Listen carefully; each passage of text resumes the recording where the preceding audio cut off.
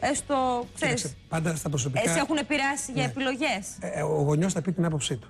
Εντάξει, από εκεί και πέρα είναι πόσο εσύ είσαι ευαίσθητος άνθρωπος και πόσο αυτή η άποψη μπορεί να σε διαλύσει, να σε κάνει να μην τους δώσεις καν σημασία. Και ο γονιός πάντα να συνεχίσεις. καλοπροαίρετο θα το πει. Υπάρχουν πάρα παιδιά που ακούν τους γονείς τους γιατί θα πάρουν τα κληρονομικά. Εσύ τι, Μοιάζονται για τα κληρονομικά. Ναι.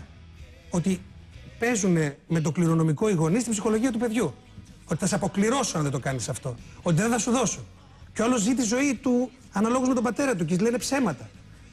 Επειδή όμως γενικά είναι μια ψεύτικη κοινωνία, ένας πολύ γυάλινος κόσμος, γυαλάν ντουνιά, να μιλήσουμε και λίγο τουρκικά λόγω της όλης κατάστασης με τα τουρκικά. Ε, αυτό όμως συμβαίνει γενικά βλέπεις και με τα ζευγάρια. Ε, τα ζευγάρια δεν χωρίζουν γιατί φοβούνται τι θα πει ο κόσμος. Υπάρχουν ζευγάρια που έχουν αποφασίσει να μην. πώς θα το πούμε στους γονείς μας. Ότι πώς θα το πάρουμε απόφαση να χωρίσουμε. Δηλαδή πώς το έχουν πάρει απόφαση, μάλλον πώς θα το ανακοινώσουμε. Και η ζωή περνάει. Και η ζωή περνάει και ο χρόνος περνάει και μεγαλώνεις. Και τα όνειρα φεύγουν. Και νομίζουμε πολλές φορές ότι ή δεν θα πεθάνουμε ποτέ, ή θέλουμε να ζήσουμε 4-5 ζωές και τη μία θα τη χαρίσω εγώ στους γονείς μου. Ενώ είμαι εντάξει. Ούτε ποτέ τους προσέβαλα, ούτε ποτέ τους έκλεψα, ούτε ποτέ καταχράστηκα χρήματά τους. Και όμως βλέπεις ότι υπάρχει μια κατάσταση που οι γονείς, ακόμη και σήμερα στα παιδιά, είναι γαντζωμένοι από εδώ. Αυτό λοιπόν Την έχουν γνωρίσει την Κατερίνα; την Κατερίνα δεν την έχουν γνωρίσει. Μόνο η μητέρα μου μία φορά. Σκοπίμως το έχεις κάνει, φαντάζομαι αυτό. Σκοπίμως. Ναι. Δεν θέλω να την Θα γνωρίσω. τους γνωρίσει όταν πάρει πια τελική Θα την απόφαση ότι γνωρίσω όταν πάρω προχωράμε. την απόφαση να τους πω ότι αυτή είναι η Προχωράμε. γυναίκα. Ναι. Ήταν και μια συζήτηση που κάναμε κάποια στιγμή και μεταξύ μας. Δηλαδή.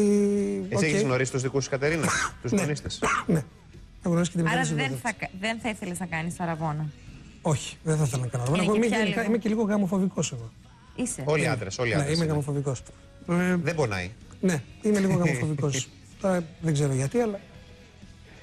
Ε, μ, έχουμε λίγο χρόνο, Ρεστέλιο. Πού είστε, Ρεστέλιο, να δούμε λίγο τι θα δούμε απόψε στον όμορφο κόσμο.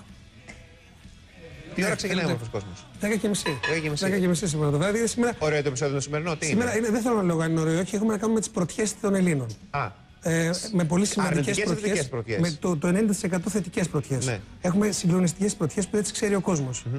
Ε, και υπάρχουν και αρνητικές πρωτιές που τις ξέρει ο κόσμος.